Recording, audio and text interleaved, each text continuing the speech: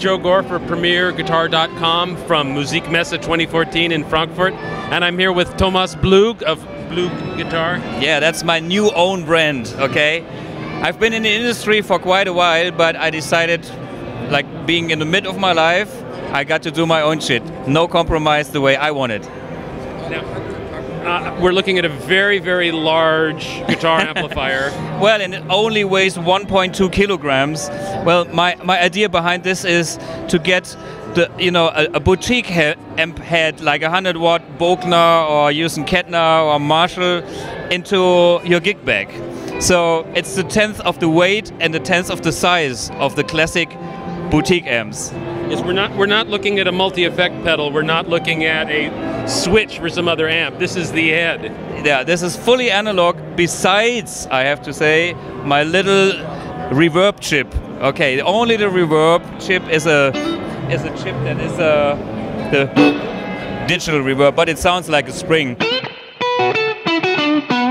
It's not a bad fake spring. Yeah, but um, this amp has four different channels. So it has a clean channel, it has a vintage channel like a JTM 45, an amplifier that I love a lot, and then uh, it has a a classic channel which is basically a British sounding channel and it has a modern channel that is super flexible from uh, a Gary Moore tone up to death metal whatever uh, really dark shit and you can really fine tune each of these channels with my custom controls on the side of the unit. Yeah, can we, can we take a look at the side of the pedal where there's yeah. the uh, micro controls? I'll show you here on this. So, what are some of the things that these address? Yeah, uh, first, maybe the foot switches. This foot switch is to switch from clean to one of the overdrive channels. And uh, this is the boost switch and this is the reverb switch, so easy. Um, so if I go for the boost, for instance, I have a control. This is a two-stage boost. It's a tube emulation, but it's one of it's a new design. This this has 30 years of my experience and one of the best Russian engineers I've ever met inside. And we, we came up with a tube sounding cell that is true. It, it's solid state, but it, it is something that has never been on the market before. And the thing is, this boost can be adjusted here, switched on here. So here we have uh, the custom control, tone control for the modern.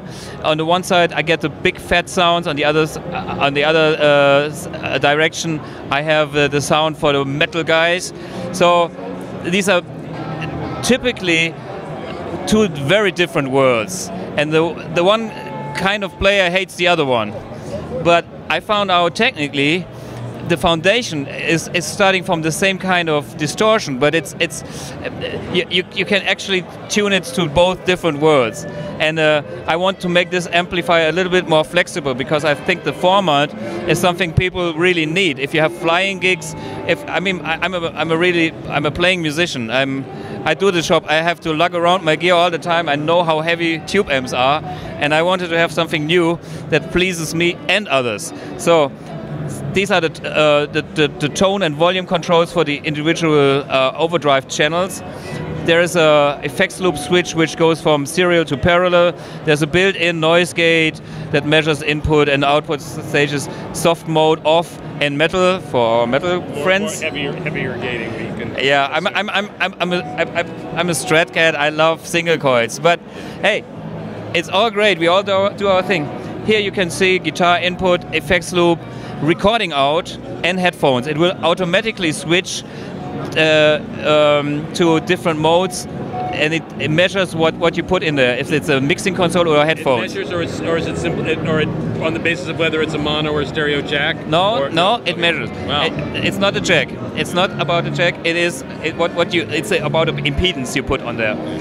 This I'm talking about impedance. These are the two speaker outs. So this this little box delivers 100 watt 100 watt, and uh, to 8 ohm speaker or 16 ohm speaker. Um, this is for an external foot switch. If you like to put this on a combo with a handle, so this can put this on the handle, have an external foot switch, use it like an amp head. Um, and also, this is an intelligent socket. I can have uh, this connected to my remote pedal called the Remote One. We have direct access to all of the functions of the amp. There's a clean channel, vintage, classic, modern. There's the boost, reverb, effects loop, master volume, and a power soak. So this is extra functionality. And about the master volume, second master volume, dial in, switch on, off, and power soak actually goes from 100 watts down to 7 watts. This is the stage mode, middle, and then it goes from 2 watts to 150 milliwatts, which is 0.5, uh, sorry, 0.15 watts for your home use. So you, I can play the clean shell all the way up and use the power soak. So I have, I can be Jimi Hendrix in the bedroom. In, in, my living room or wherever at home. Even if you have neighbors, you still have friends with this power soak. And uh, once you have dialed in your sound here, you can also store this as a preset. So I got nine presets here, and actually I have four banks. So I got, you know, I'm I'm not a MIDI stepper. If you are really MIDI nut, you, you can use your own pedal and you you use my uh, MIDI adapter. But one more word about this here. See the slot here?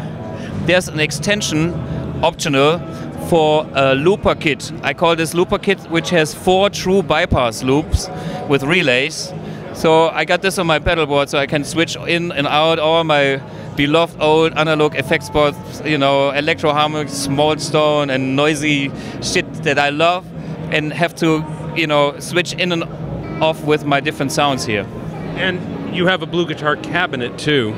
And in actually, the logo lights up and there's no, it's not connected to any of the mains. It comes straight from the amplifier using a mono cable. That's new. It's magic.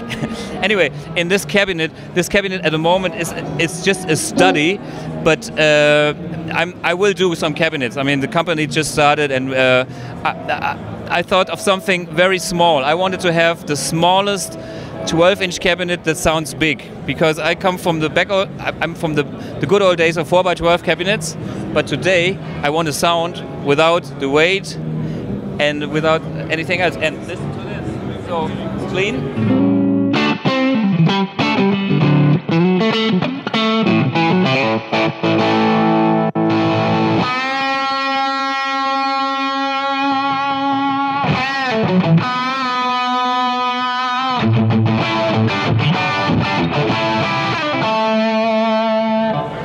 cleans up so the